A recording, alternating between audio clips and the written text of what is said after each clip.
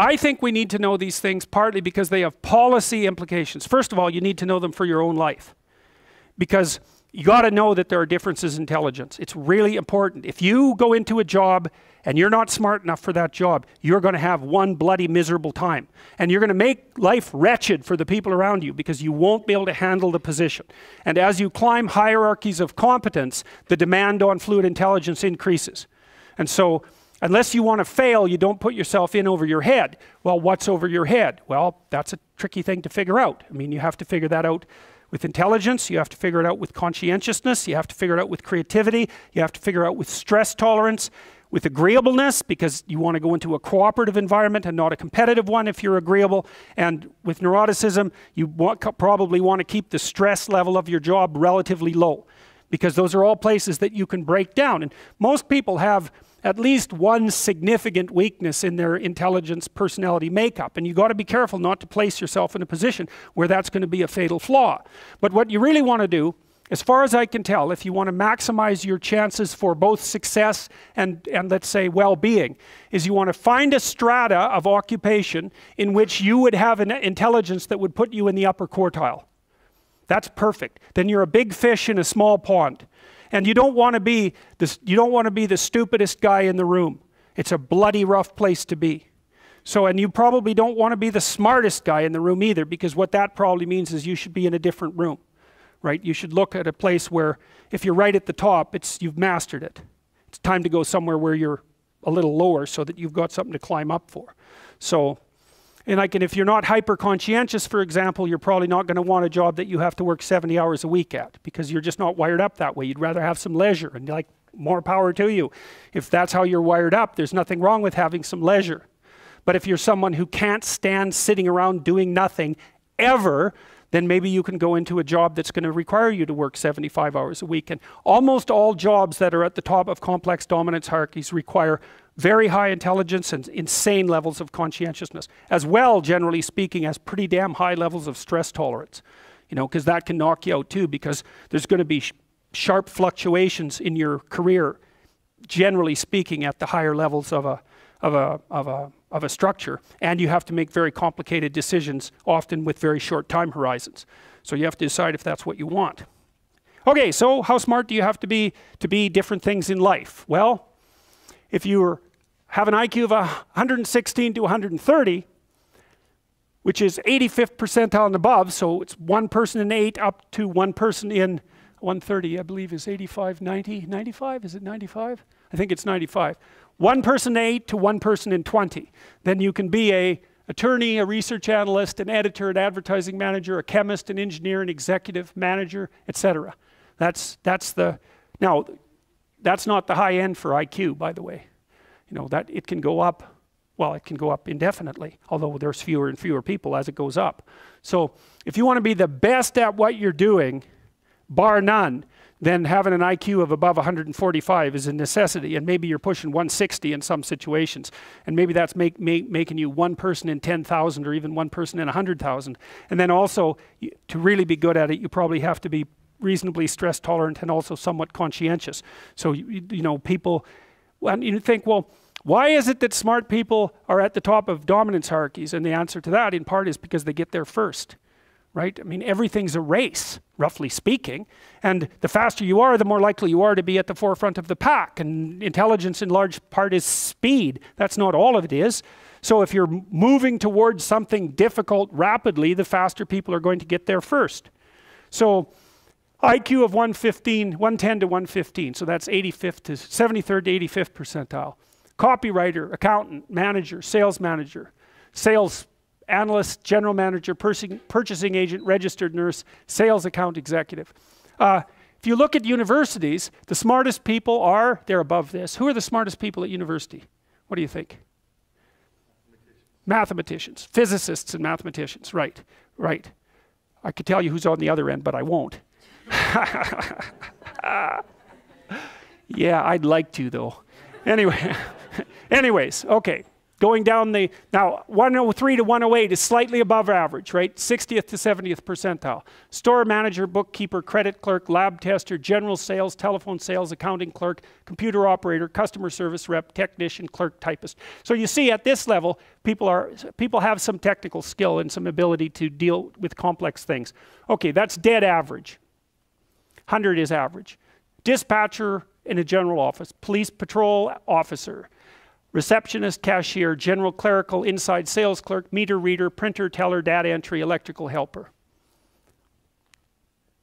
95th to 98. Machinist, food department manager, quality control checker, security guard, unskilled labor, maintenance, arc welder, die setter, mechanic. Good, good IQ range for relatively qualified tradespeople. 87 to 93. Messenger, factory production worker, assembler, food service worker, nurse's aide, warehouseman, custodian, janitor, material handler, packer. Now, what you're seeing, what you're starting to see is that as you move down the hierarchy, the jobs get simpler. They're more likely to be assigned by other people or they're repetitive. Because what IQ predicts to some degree is how rapidly you can learn something, but once you've learned it, it doesn't predict how necessarily how well you do at it. And so the more repetitive jobs tend people with lower IQs are more suited to more repetitive jobs. Under 87, is there something? Well, no. Right. That's a big problem. And it's something our society has not addressed at all. Jobs for people with IQs of less than 85 are very, very rare. So what the hell are those supposed, people supposed to do? It's like one, it's 15% of the population. What are they supposed to do? Well, we better figure it out because one of the things that's happening too is that as the as the high IQ tech geeks get a hold of the world, the demand for cognitive power is increasing, not decreasing, right? You want to be a teller? Well, you know, those checkout machines, they're not so simple. You want to work at McDonald's? You think that's a simple job? You don't see robots working at McDonald's. And the reason for that is that what McDonald's workers do is too complex for, for robots to do. So Well, so this is a discussion that no one wants to have, but that's okay. It's still a problem, and it has to be dealt with. So the U.S. government, I think I told you this at one point already, it's illegal to induct anyone into the U.S. Army if they have an IQ of less than 83, right? It's about 10% of the population. Because the U.S. Army, and they've been doing IQ testing since IQ testing began, because they want everybody they can possibly get into the Army. Because in peacetime, they use it as a way of moving people up the socioeconomic ladder. And in wartime, well, obviously, you need as many soldiers as you can get your hands on. And so you're not going to be any pickier than you have to be. So when the US Army says it's illegal to induct anybody into the armed forces if they have an IQ of less than 83, then you know that they've done it for absolute necessity right? And when people have made a finding that contradicts what they want to hear and they're doing it out of absolute necessity, you can be reasonably true that it's one of those facts that just won't bloody well go away. And so you might think, well, if there's nothing for someone with an IQ of less than 83 to do in the army, what makes you think that there's something that they can do in the general population? And then the issue is, you know, because the conservatives will say, well, they should just work harder. It's like, sorry, that ain't going to fly. And the liberals will say, well, there's no difference between people anyhow. And you can just train people to do everything. And that's wrong. So they're both wrong, and they're seriously wrong. And the fact that neither side of the political perspective will take a good, cold, hard look at this problem means that we're going to increasingly have a structural problem in our societies because we're complexifying everything so rapidly that you can't find employment unless increasingly unless you're intelligent. You guys are really going to face this, you know. Lawyers are disappearing like mad. And the reason for that is you can look it up online. Increasingly, you can do things yourself if you're smart. And so, like the working class people have been wiped out pretty nicely over the last 30 years by, by automation and various other things. It's the low end of the white collar class that's coming up next. So I'm not saying that lawyers are in the low end, but low end lawyers are in the low end of the white collar class. So there's still going to be plenty of positions for people who are creative and fast on their feet and super smart. In fact, those people are going to have all the money, and that's already happening to a great degree. You know, because if you're smart and you can use a computer, you're so smart it's just absolutely unbelievable, right? And if you can't use a computer, and lots of people, and I don't mean you know, you can open Word. That isn't what I mean. I mean, maybe I mean you can program, and if you can't program, well, you're right at the next end. So if you haven't got that with you, you're, you're going to be left behind.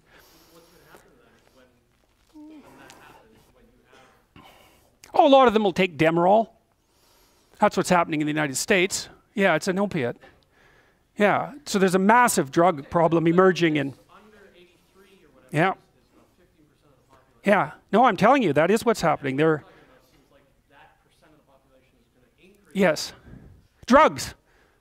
Yeah, drugs of abuse.